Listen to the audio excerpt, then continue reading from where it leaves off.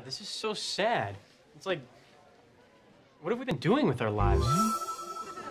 Hey, Kelso, who's got stronger powers? I Dream of Jeannie or Samantha from Bewitched? That's easy. Samantha. Witches totally beat Jeannie's.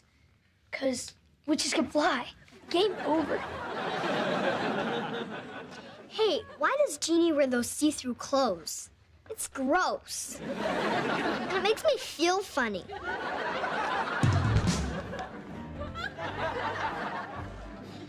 No way Samantha hotter than Jeannie.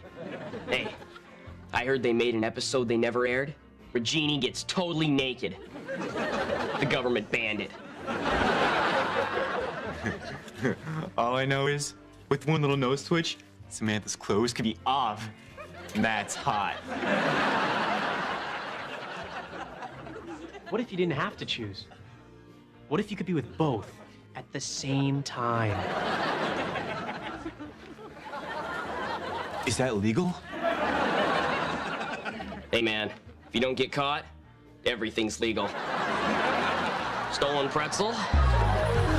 Guys, this conversation is over. Yesterday, Samantha went back in time. That trumps anything Jeannie ever did. Oh, yeah? Well, Jeannie can freeze time. So Samantha would go back and Jeannie could just freeze her there. Who kicked whose ass then? You know what decided this whole thing? Little Samantha on Jeannie mud wrestling. I'd pay a dollar to see that. All I know is Samantha helps Darrin at work, but what does Jeannie do for Major Nelson? Turns his boss into a monkey. This is not helpful. I gotta call Major Nelson's sexuality into question here. I mean, any guy who's got a half-naked genie, he's got her doing more than his laundry. You know what would be best? Samantha's hair, Jeannie's pretty bottle room, and Wonder Woman's accessories. Pew, pew, pew, pew. Hey guys, we've been talking about this for a really, really long time.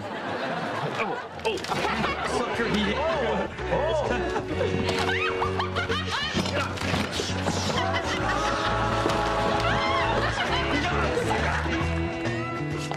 I got it. I got the quote. What a long, strange trip it's been in Forman's basement.